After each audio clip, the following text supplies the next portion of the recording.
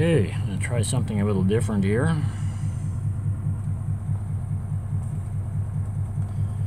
Looks different looking through the screen. Anyway, let's roll.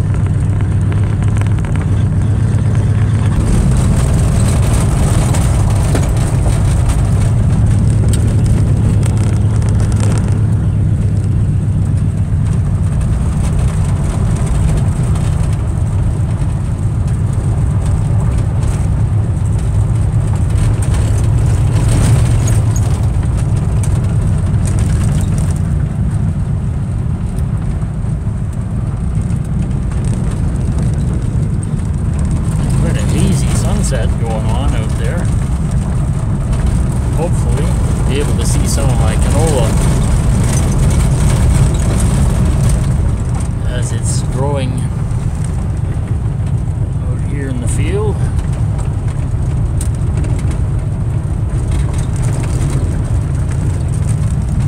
Okay, that's enough of that.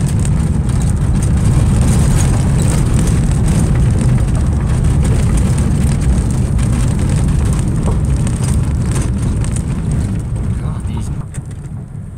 Okay, how do I stop this thing?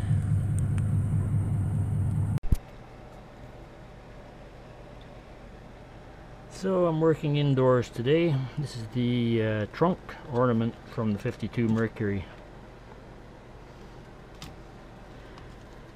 You wouldn't know it, but this plastic or plexiglass, whatever it is, is actually from a newer Mercury. I've had it around so long I can't even remember where I got it or what year car it's from, but it's pretty much the same head as the original 52 head. You can see that 52 head is really badly faded. So what I did was I got a a paint pen with uh, I guess it's gold paint in it went over the inside of the head and it's a lot better than it was. Before it was just like a ghost. It was all white.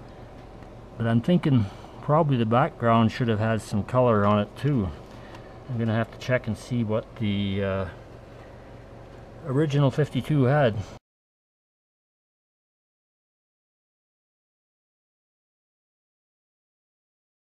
Anyway this is the original 52 trunk emblem and uh, with the newer replacement plastic inside.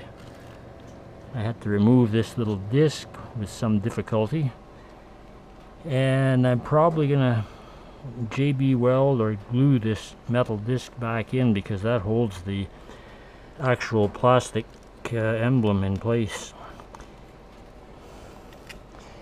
The lock appears to have a broken off key uh, possibly. I've got the original key here and I've tried it. It will only go in about halfway and stops. So I'm thinking there's a broken off key in there. The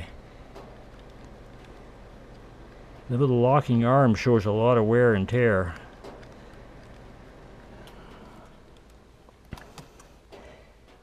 Minor cracks in the uh, outer framework there. Not a big deal, I guess. Anyway, this is just a little extra Mercury emblem from I don't know where. It's either a horn button or possibly a trunk emblem. I don't know. I'll have to research that a little. So that's where we're at. I guess I'm going to